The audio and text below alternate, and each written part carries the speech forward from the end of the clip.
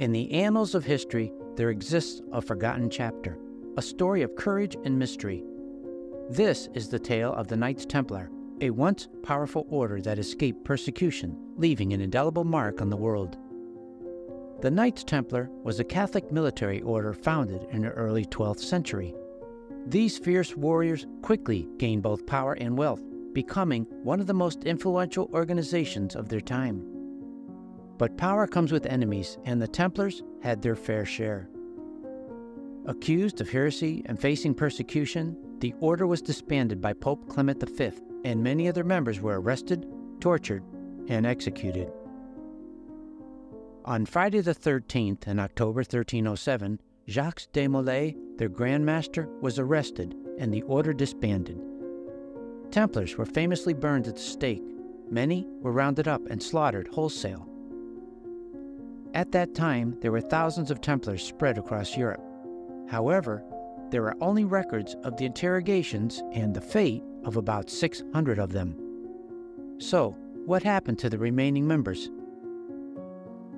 Here is where the story takes an unexpected turn and our story begins. The Templars, an organization shrouded in secrecy, accused of heresy, faced severe persecution by the French monarchy and the Catholic Church. The knights were being hunted down without mercy. Forced to flee, the Templars underwent a secret operation to preserve their order. Like phantoms in the night, they vanished, pursued by their relentless foes. But how did the Templars manage to escape the persecution? They relied on a vast network of secret tunnels and Templar hideouts, known as preceptories. These were scattered throughout the continent.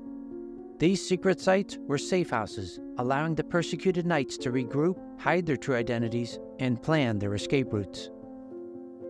Many Templars sought refuge in distant lands. Some carried across treacherous seas to safety. In Portugal, many from the order found solace under the protection of King Dinis, who allowed them to establish a new stronghold. The Templars transformed themselves, dedicating their existence to safeguarding the kingdom. Renowned as expert horsemen and fierce warriors, they became a vital part of Portugal's defense against invading forces. The Knights had a strong influence in creating the Portuguese Empire and the Portuguese Age of Discovery. With the help of the Knights, Portugal played a vital part in Europe's exploration of the world between the 15th and 18th centuries.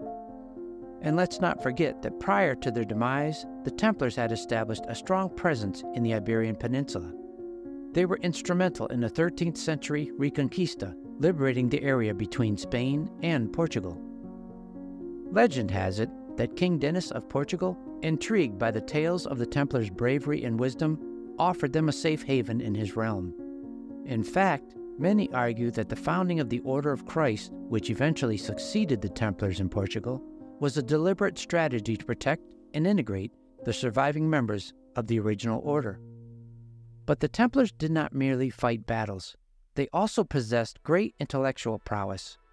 Within their ranks were scholars, architects, and skilled craftsmen, preserving knowledge and building magnificent structures that stand even today as a testament to their unfading influence. The Knights Templar emblem can be found on some of Portugal's most famous buildings. These include the Belém Tower and Jerónimos Monastery. The Quinta da Regaleira in Sintra also adorns symbolism from the Templars. It is believed Sintra's grotto and tunnels were used for the Templar rituals.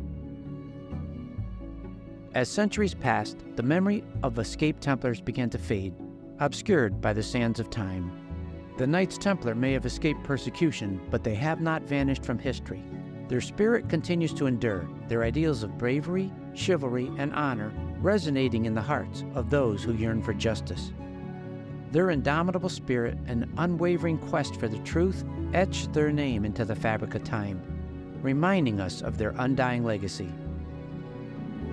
The Knights Templar were a force to be reckoned with, both in their time and in the annals of history.